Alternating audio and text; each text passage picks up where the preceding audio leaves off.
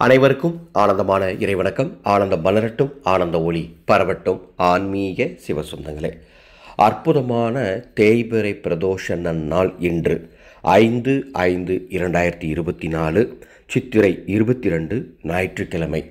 இன்று பிரதோஷ நேரமான மாலை நான்கு முப்பது மணியில இருந்து ஆறு மணிக்குள்ள அல்லது உங்களுக்கு எப்பொழுது நேரம் கிடைக்குமோ அப்பொழுது உங்கள் வீட்டு பூஜை அறையில் ஈசனுக்கு ஏதேனும் நைவேத்தியங்கள் வைத்து உங்கள் வீட்டில் பானலிங்கம் மற்றும் வேறு எந்த சிவலிங்கம் இருந்தாலும் சரி அதற்கு பொட்டு பூ வைத்து அலங்காரம் செய்து கொண்டு ஈசனுக்கு பிடித்த ஏதேனும் நெய்வேத்தியங்களை உங்களால் என்ன வைக்க முடியுமோ அதை வைத்து நான் சொல்லும் இந்த ஒரு மந்திரத்தை பதினோரு முறை சொன்னால் உங்களது அனைத்து பிரச்சனைகளும் தீரும். ரொம்ப அற்புதமான மந்திரம் அன்பானவர்களே.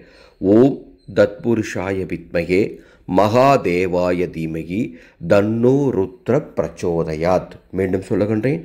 ஓம் தத்புருஷாய வித்மகே மகாதேவாய தீமகி தன்னோ ருத்ர பிரச்சோதயாத் அப்படின்னு வடக்கு திசை நோக்கி அமர்ந்தோ நின்றோ இந்த மந்திரத்தை இன்று சொல்லுங்கள். அற்புதமான ஈசனருளை பெற்று ஆனந்தமாய் வாழுங்கள். வாய்ப்பு இருக்கிறவங்க உங்கள் வீட்டின் அருகில் இருக்கக்கூடிய ஈசனாலயம் சென்று சுவாமி தரிசனம் பாருங்க. இன்று முடிந்தால் அன்னதானம் செய்யுங்கள். நல்லது நடக்கும். தேய்பிரை பிரதோஷம் இன்றைய நாளை தவறவிட்டு விட வேண்டாம்.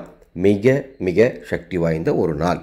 அன்பானவர்களே அட்சய தேதியை முன்னிட்டு நூற்றி எட்டு திவ்ய மூலிகைகளை பொடியாக்கி அதை சரிவிகிதத்தில் கலந்து பூஜை செய்து வெள்ளி நாணயத்துடன் அட்சய ஸ்வர்ண லக்ஷ்மி தூபம் தந்து கொண்டிருக்கின்றேன்.